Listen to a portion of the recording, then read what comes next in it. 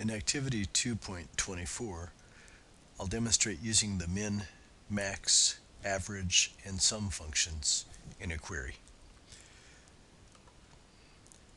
Select the Create tab, Query Design, Scholarships Awarded. Double-click Amount, and we'll just use one field.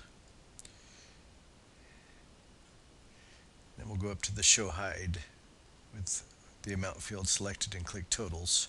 And the, the design grid adds a row called Total and has the words Group By inside.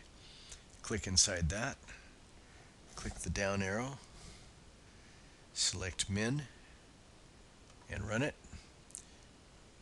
Go to the right side of the header, double click it to size it properly. So min of amount is the header and $100 is the smallest award.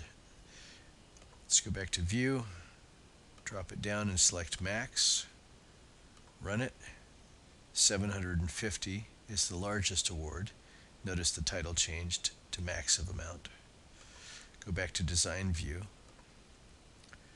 click on average, run it, and average of amount, the average award is $358.33.